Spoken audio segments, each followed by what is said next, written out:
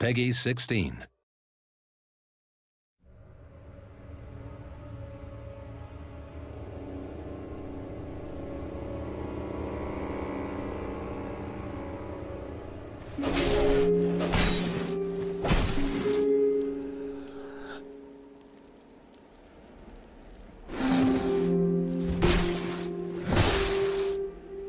新しい要素についてはあのまあちょっといろいろあるんでこんなあのその中で一つ代表的なところを紹介するとしたらまず、まあ、前作で持った制約っていう部分をそのよりその、まあ、言い方としてはロールプレイになるんですけども If you need help, why not proclaim faith in the Blue Sentinels? When you face danger, the Blue Sentinels will come to your aid. ロールプレイの色を強くする形にはしています。まあ、それはですねあの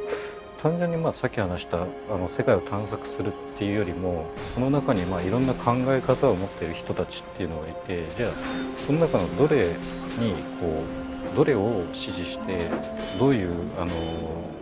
なんでしょうね遊び方をするかっていうプレイスタイルの幅をまあ広げたいっていうのが一つその目的としてはありました。まあまず一つ目の自由度っていうのはですねやっぱりその、まあ、次ここ行け次ここ行けっていうそのまあある意味作ってる方に提示されたコースで進んで、まあ、クリアしましたっていうのだとどうしてもそのやらされてる感が出てしまうと思っています。なのでこういう状況とこういう状況があるけどどっちを先に進もうとかどうやってあのここを乗り越えようって考えるのが重要だと思っています。でもう一つのその分からないとこと、えっと、分かりにくいところの絶妙な間の部分っていうのはその、まあ、これはあのゲームをやってるとどうしてもその与えられたものをクリアしただとどうしても自分で達成した感覚が薄くなってしまう。で逆にそのあまりにも分かんないとあの徒労感のが強くなってしまうつまり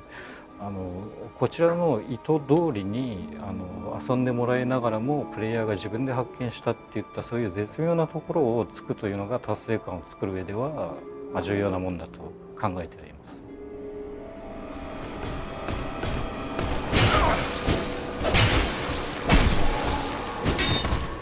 the skill and the difficulty is very fair. It's not unfairly difficult. It's very,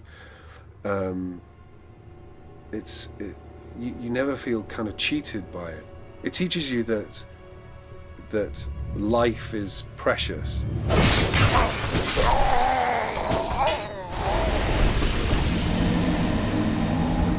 やっぱり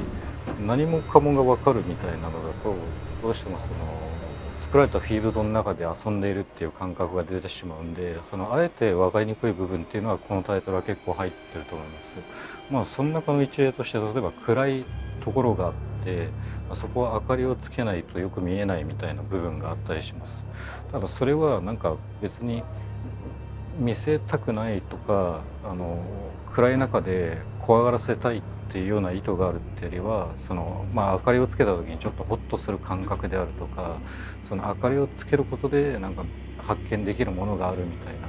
なあのそういうこうプレイヤーの行動にあの紐づいた形でその雰囲気を体験していきたいあの体験してほしいという意図自体は持っています。ネットワーク部分ですと一番大きな変更なのはやはり、えー、ダークソウル1では P2P のものだったんですがそれが、えー、サーバーを使うことによって、えー、仕組みが大きく変わりましたのでまあそうですねいろいろな部分で、えー、動作が変わっているところはありますね。えー、ただそのやはりダークソウル1のそのネットワークのゲーム性というのをもちろん大事にしていてて、えー、見かけ上はその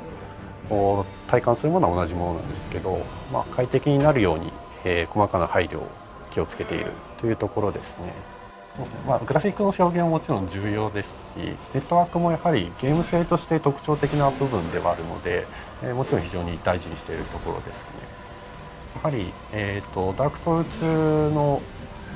面白いところは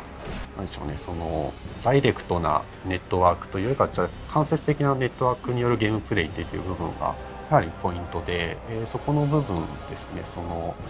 なんでしょうね。実際にそのユーザーがリアにこう接続していなくてもある程度つながっているような感覚っていったところは大事なところだと思います。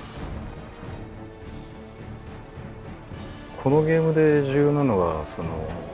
どうやってその達成させるかというかプレイヤーがどうやって乗り越えるかっていう仕掛けがまあ重要だと思っています。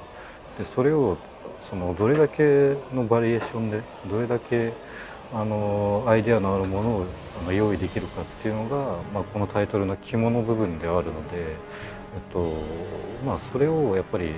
できるだけ入れようというのに、まあ、注力しているとは思います。